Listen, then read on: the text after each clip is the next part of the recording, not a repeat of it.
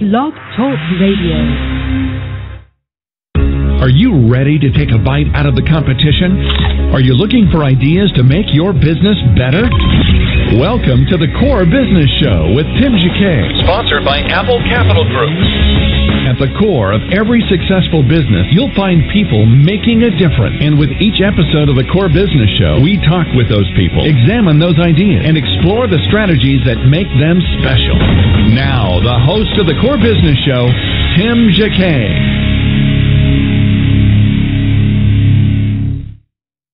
Good morning, everybody, and welcome to another episode of the Core Business Show. I'm Tim Jacquet, your host. Today, I have the pleasure of having on the show John Cruise. We have some technical difficulties. What we're going to do is we're probably going to give him five minutes. If not, we're going to go ahead and reschedule the show for two hours from now, if possible at noon, he, if he can do it. Anyway, John has a magazine out of Houston called Small Business Today. He just launched this magazine a month ago.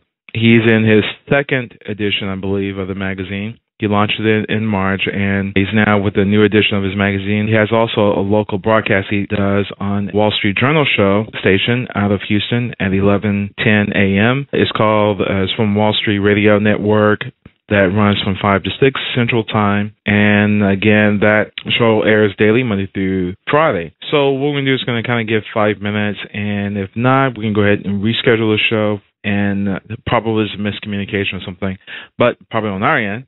But anyway, we want to take care of it and have him back on the show if he can. So anyway, I'm going to go ahead and play a ad from our sponsor, uh, from Apple Capital Group, and then we'll come back and go from there. Really appreciate it for you listening and tuning in. Take care. Hold on. You're listening to the Core Business Show, sponsored by Apple Capital Group. Apple Capital Group in Jacksonville, Florida, is a commercial lender that specializes in asset based loans, equipment leasing and financing, invoice financing, commercial real estate loans, and asset based financing in the U.S. and Canada. Apple Capital Group is a direct lender that lends on their private equity investment portfolio. 90% of most loans are decided within two hours, and vendor funding within 24 hours after documents are completed with a one page application. No slow no's, just a quick decision and a fast yes. To get more information about lending from Apple Capital Group, call 866 611 7457. That's 866 611 7457 to speak with one of our loan specialists. Or visit us right now at applecapitalgroup.com. Apple Capital Group in Jacksonville, Florida. Welcome back to the core. Once again, here's Tim Jacquet. Okay, we're back with Tim Jacquet with the Core Business Show. What I'm going to do is going to play Blue Skies from one of my groups out of Corpus Christi, Texas. And we're going to listen to them for about a couple of minutes and we come back with the show. Well, that was Blue Skies by Corpus Christi Choir out of Corpus Christi, Texas.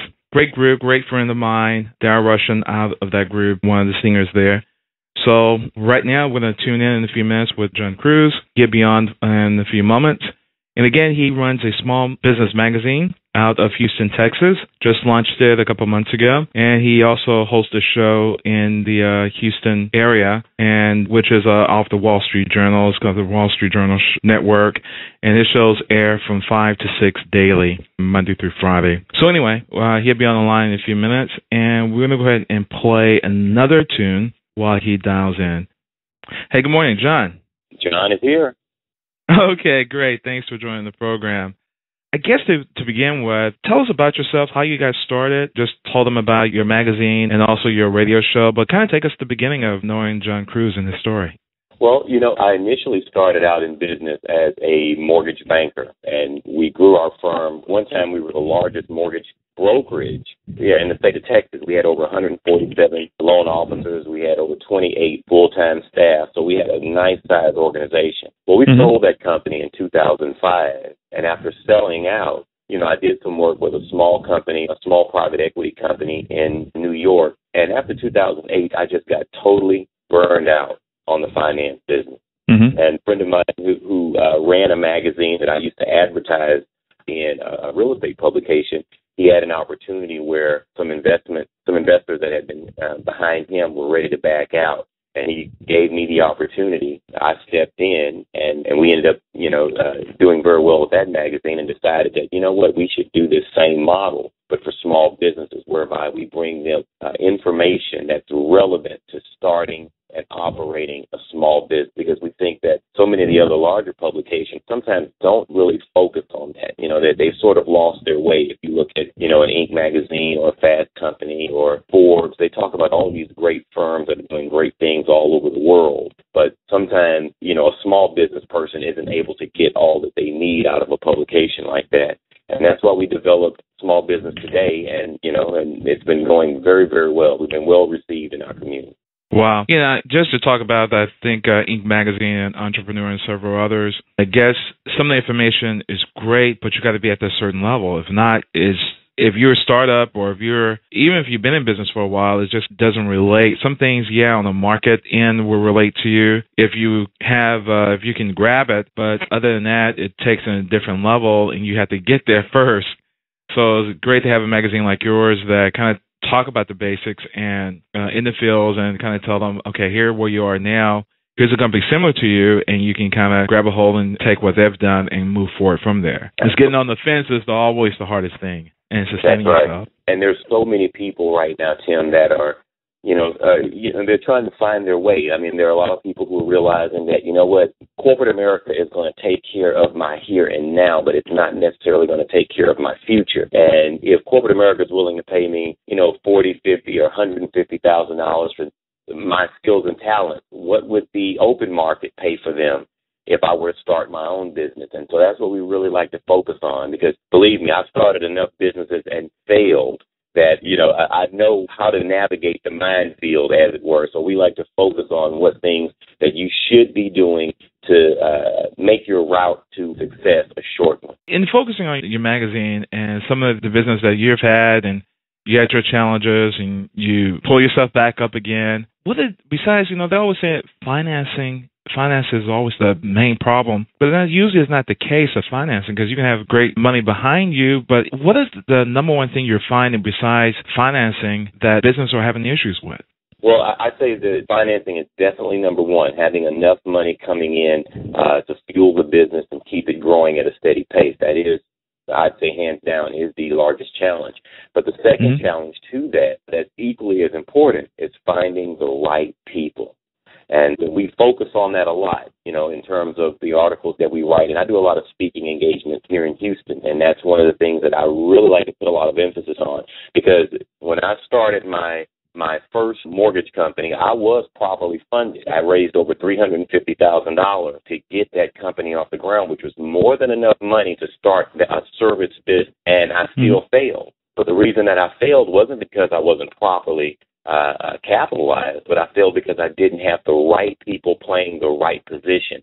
And so I had to go back to the drawing board and refigure how to make this work with the right capital as well as having the right people. So I really tell people that you want to focus on your team, which in my opinion can be more important than having the right and having the money. But getting the right people, I mean that everybody faces that how did you solve that problem getting the right people? Because it's kind of hard. Who can you trust? You can't necessarily go to your family or depend on your family because they have a different the image is you know they're too personal involved in this, and you really need to find that right person. How did you find that right person that can work as a team with you? Well, one of the things that I did is I went the route of trying to hire friends, college friends, family members, and none of those people worked out. I've never had a person uh, work in my organization successfully that I had a personal relationship prior to. So it does, for some people, it does work. It just never worked for me. What I did is I found, I figured out what it took to be successful in every area of my business. So I was able to identify what skills and talents does this person need to have if they're going to be my operations person, if a person is going to be my head processor, if a person is going to be my head underwriter, what are the skills and talents? And then I went and found people with those talents, but not with the experience necessarily. It was more important to me to get the person that possessed the talent, that drive and desire to grow themselves inside of an organization. Wow. And then I developed them and gave, because I could give you all the experience that you need. Experience wasn't important for me, but I needed someone that possessed a certain skill set. So I looked at my operation as though it were a, and I like to use analogies for sport. So I looked at it as though it was a football team. I was the mm-hmm. quarterback.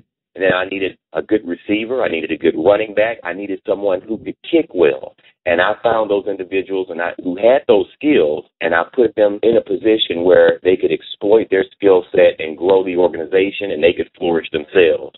And we were able to build our company up, and we came out virtually out of nowhere. And I didn't have very many people that had mortgage experience because I wasn't really relying on that as much as I was them possessing a set of skills that I knew could make them successful. Okay. So, in taking that experience and a skill, your advice is always go towards the talent. And I think with the talent, you can always, like you mentioned, you can develop the skill. Do you think that's what some business run into problems because you're looking for the experience of a person versus looking for the talent? Oh, absolutely. Because and I ran into that. You know, I would bring in individuals who had more experience than I did. But the thing is, is that what they lacked is they didn't have the ability to follow my lead. And so, and there would be times where I'd bring people in who had uh, lots of experience, and I had to continuously try to re-educate them and convince them to forget what they think they know. Because if wherever you were and how you were doing it, if it worked so well there, you wouldn't be here with me.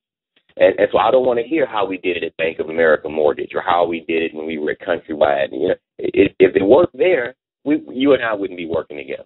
So I realized that you know what, I got to find people with the same level of talent, you know, who have the ability to be developed, and I'll get them, I'll give them the experience that they need. Wow. When you de- decide to one day start your magazine, Small Business Today, and you duplicated the same process that you had on the prior magazine, how did you come up with that particular title? I mean, there's a lot of small business, and I guess within the Houston market, you're in a great market to build from.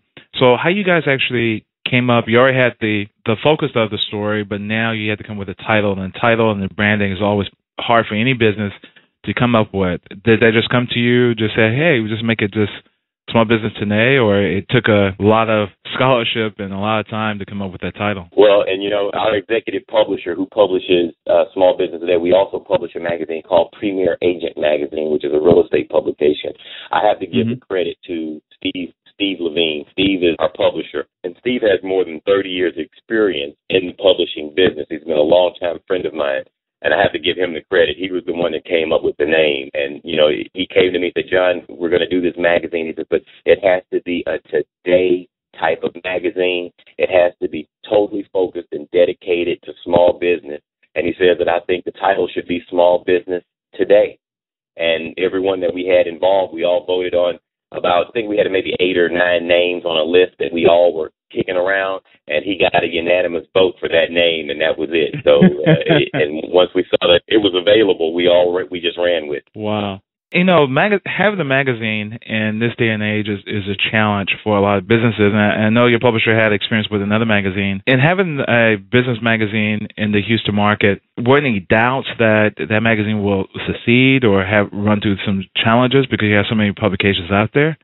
Well, you know what? I'd be uh, uh, lying if I said no. You know, I do. You know, when I look at you know the, the landscape for print publication, you know, uh, ninety uh, percent of the magazines that are started aren't around 24 months later. And but the resolve that I have with this particular publication is that that we're not competing with any other publication in our city. I mean, some people think that, well, John, you guys are like the Houston Business Journal, aren't you? And I say that no, we're we're not at, at all like them. That's no. the Houston Business Journal is a news publication, and they're not focused on small business. They're not called the Houston Small Business Journal. They're just called the Houston Business Journal. And so, so the thing is that when I really look at our unique selling proposition and what truly makes us different, there's no one else in our landscape.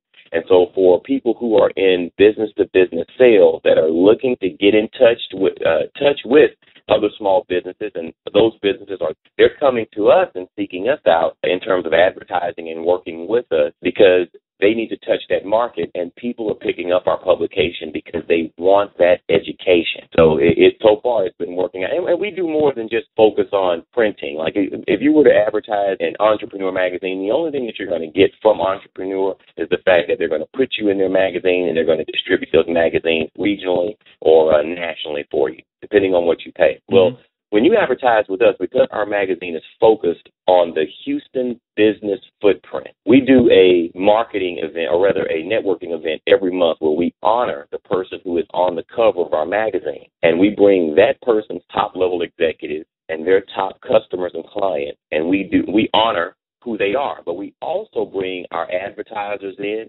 people that write in our publication. And so we have a network of, of individuals that are in one room where everybody in the room is someone that you need to know.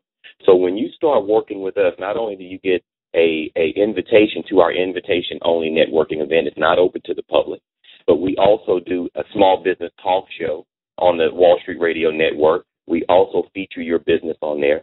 We do a television show with Comcast. Comcast and the city of Houston have come together to do a web TV channel. So we have a channel on there where we do a daily show we bring you on that show as well. So we really get behind you and your business. And I think that's one of the things that, that makes us successful, that has made us successful so soon, is because we take an interest in your success more so than just you buying an ad and we say, okay, hopefully, you know, it'll work out for you and we'll see you again in 12 months.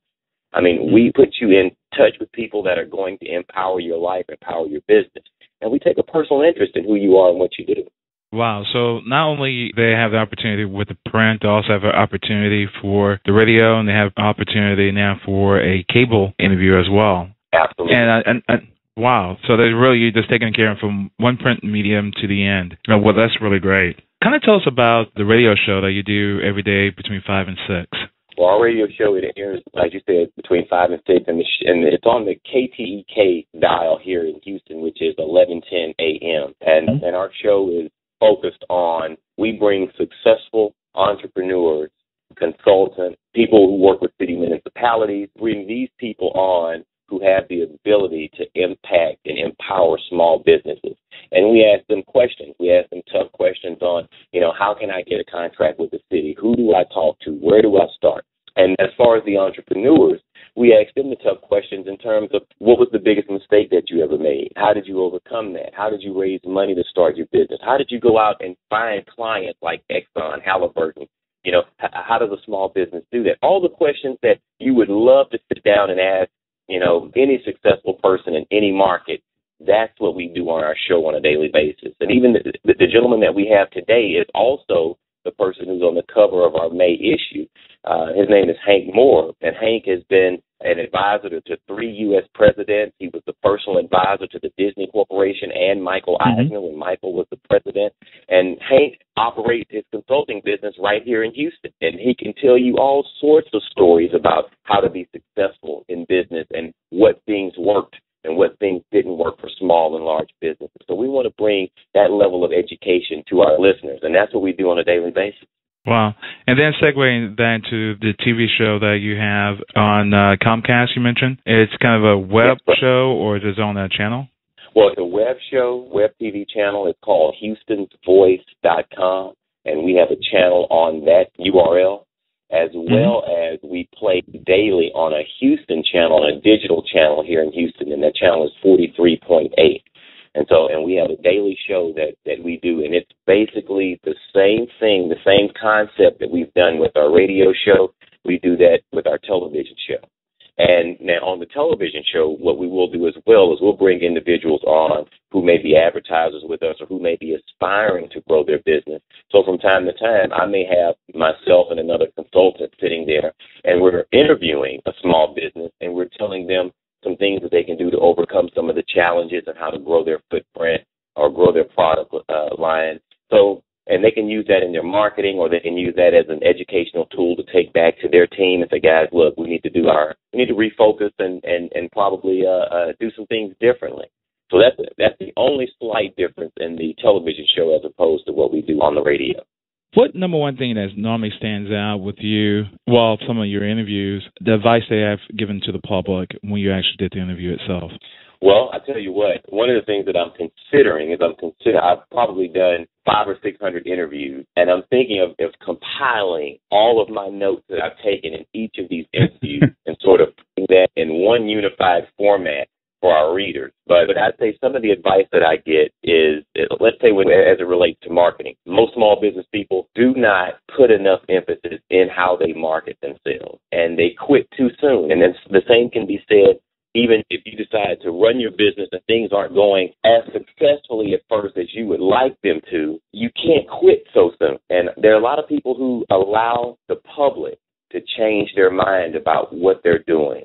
And uh, most of the people who've been successful, they the first thing that they say in their interviews is, "Do not quit. If you know that what you're doing is the right thing, and you know that your business is the right business for you, then don't listen to the naysayers. Don't quit." And and I think wow. that that just goes across the board. Wow, don't quit. So you mentioned that a lot of businesses will get started in trying their marketing efforts, but they say, "Oh, this is not really working." But it could be working in one sense, making deposits, but it's just not coming to action at the moment. But at least it's building a brand that you know they hear you so many times, or when that need arises, at least they have something they can go to. So you're saying that people are just starting to when they do their marketing because they can't measure to get the financial reward right now, they just stop, and that's the wrong thing to do. Well, I tell you this: our next cover is a gentleman who runs the largest advertising agency in the state of Texas. His name is Phil Morabito, and he has a great article on how to manage your advertising. Because one of the things that he points out is that, look, Tim, if I could bring you in and put you a million people, then what would you say to them, and what would be your call to action? So he says that you know, when you do advertising, if something isn't working, you can't just assume that it's not working simply because you're not getting a response. If you know that that medium is bringing you in touch with the people that you need to be in touch with, then you have to look at your message and you have to look at the type of ad that you're using. And a funny story that I always tell with Steve Levine and myself when I was running a struggling mortgage company, I called him over one day to cancel an ad that I was doing in his publication. Well, he came over and, and after we talked for about an hour, I ended up not only not canceling, but I signed up for the other two magazines that he also produced. And he helped me understand that his message is wrong and you're not getting enough reach because you're not in all of our publications. And once I did that, I made a return on my most small business people, Tim, we start a business because I make a great sandwich or because I provide a good service or I make a great widget, but we don't really know how to run a business. So the first thing that you should be looking to do as a small business owner is get as much education as you can on how to run a business, not how to provide your service better or make a better sandwich. You already know how to do that. Your passion already lies there.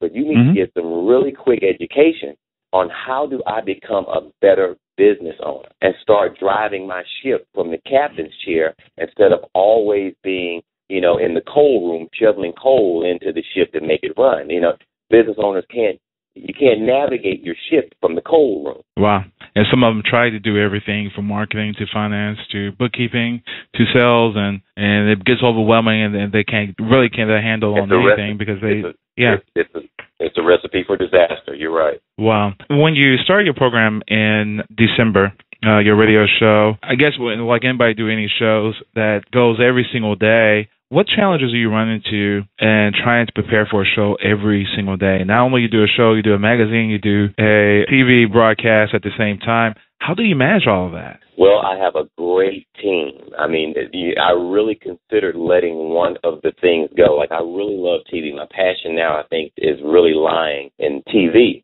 But, you know, my team is saying, John, you know, let's keep it going. So my team is willing to pick up more of the slack for me so that I can continue to bring our message to the entrepreneurial public. And really without them, you know, I don't know how I would manage because I have a, you know, a person who does all of my scheduling and booking. Matter of fact, we use a Google Calendar and every person on the team that works with us is always looking for small business talent. So when they mm-hmm. meet someone, they know exactly what information they need to get from them. They need they know the exact type of story that we're looking for to bring that to the public. and they have the ability to book those shows. So they book shows, you know, a month in advance. I don't even know who's up next. And I have someone else who prepares the interview, does all the research, and then they send that information to me. So all of my questions are lined out. They have just the points that are relevant in terms of what this person has accomplished, mm-hmm. how they run and operate their business. So it really makes it easy for me to show up and just go to work. And without, okay. without them, there's no way that I could do all of this. Wow. So you have one person that just do the booking, then another person that actually prepares all the interview, and they just hand everything over to you. It's two people or just one? They just no, no, no. Well, actually, we have uh, nine people that work in our organization, and so nine of them all have the ability to book to book people. But you know, one of the mm-hmm. things that we did, Tim, that that that makes it easy for us is that we mm-hmm. reached out to all of the public relation firms here in Houston. So once we did that and we let them know that we have a show, this is the format and this is what we're looking for, now they send us people. So we constantly are going through, you know, a, a database of individuals that these PR people are trying to get exposure for entrepreneurs, speakers, trainers. So, so we always have individuals who are waiting in the wings to get on the show. But any nine of the people in my organization have the ability to book someone for the show, but I only have one person that prepares my interviews because they know my interview style. They know, mm-hmm. uh, you know, what I think is important. And so I only have one person that does that. And uh, once she puts all of that together and she gives it to me, I'm able to just step right on stage and read from the script almost. It goes without a hit.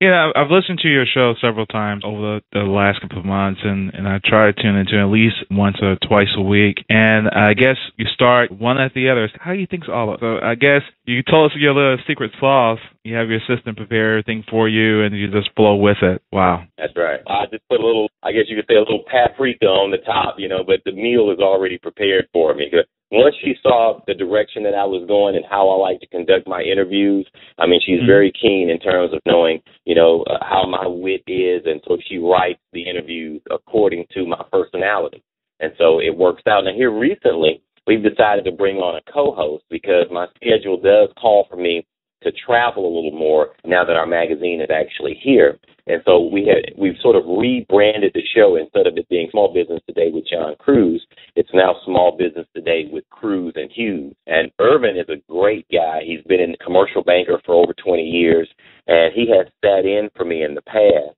when I was doing my show on another network. So when bringing him on not only adds a different dynamic to the show, but it also helps if I have to step away and do something, I don't have to cancel people that we've already booked. Irvin is more than competent and able to carry the show in my app. So uh, hopefully you'll listen and, and, let me know what you think about our new format. Yeah, I just listened to it, I think, last week, and I think I listened to it actually on Monday. I tried listening to it yesterday, okay. and I think the web portion of that was going in and out. So I didn't get to hear much of it yesterday. I think it was for the whole hour, just going. So I had some technical issues. I know it was on our end, or is maybe it's the player since we had to listen through it on the internet. But I started listening. I said, okay, they might got added a co-host last week. So you know, I figured that's why I said, my gosh, this guy has a lot dealing with a magazine, dealing with a TV show, and that's a lot. And also, you're doing some public speaking. Any advice that you would give to people who start in a radio broadcast? I have a question here. What they actually need to do, if that makes sense. Well, the same advice that I give to someone who's doing a radio broadcast would be the same advice that I give to someone who's starting a business. Mm-hmm. Because if you're starting anything, it, the bottom line is, does it make money? And how can I grow this this operation as quickly as possible? The best thing that you can do, and the thing that has worked for me, is I immediately aligned myself with all of the business organizations in Houston. And so I would say to you, whomever you're depending on for guests, whatever your topics are, whatever you're trying to find, there's an organization somewhere that exists where somebody will send you people, somebody will give you advice. If you look at our magazine and you go to our page that has our publishers advisory board and you look mm-hmm. at the number of people that are on that board and read some of the things that they've done. And we've got people from Goldman Sachs on there. We've got the guy who actually started the first CRM software, the ACT software. His mm-hmm. name is Mike Muhney. Mike is the one who developed and designed that software and ended up selling it to Symantec. So once I put my package together of what I wanted my radio show to be like and my magazine, I went out and found the people who were the best of the best. I interviewed them, and then I put, you know, a, a level of commitment on them to continue to help me grow this for the benefit of our listeners by finding me other people. And it has just blossomed and taken off and it picked up some steam and it's running on its own. So my thing is that don't, let me give you this bit of advice. If you were to look at what it would take to be successful in the 19th, 18th, or 20th century, you were going to make money, big time money, you'd make that money using the earth's resources, which means that you do it in cotton, do it in cattle, or you do it in oil. Those were how the biggest wealth families, how the biggest families who, who generated wealth, that's how they generally did it. And mm-hmm. the common denominator between all three of those, Tim, was that you had to have land. If you didn't have land, you could not exploit any of the earth's resources. So if your old man didn't die and leave you a million acres somewhere, the chances of you being able to build generational wealth for your family is going to be slim to none in those centuries. Now, what is greatest resource now? It's no longer the earth's resources. Your greatest resource as a small business person is your ability to touch, impact, and influence people. That's the whole reason why Mark Zuckerberg was able to get a billion dollars from investors when he had no real uh, plan on how he was going to monetize his business. That's the whole reason why Facebook paid a billion dollars for Instagram. The company's not worth that if you look at it from a traditional sense. It doesn't have no. a billion dollars of revenue. It, does, it doesn't have assets. So your greatest resource, and most people do not understand that, even in the 21st century, that your greatest resource is people. So I invest everything that I am into the development of my network, and my network continues to take care of me. Wow. And, and that's that's as simply I can't put it any more simply than that. If you invest everything that you have into the right group of people, that group will take care of you to a wow, level that you some, probably never thought of. Wow, that's some great advice. But I really, really appreciate you coming onto the program. Sorry about the mix up. I'm going to continue to listen to your show, and of course, I'm going to ask you to come back in the future. Anytime you want me, I'm here for you. Great. John Cruise, thank you so much. Thank you, Tim. Have a great day. Okay, take care. Bye bye. Again, it's an interview with John Cruise with uh, Small Business Today and also host of Small Business Today with Hughes and Cruise in uh, Houston, Texas.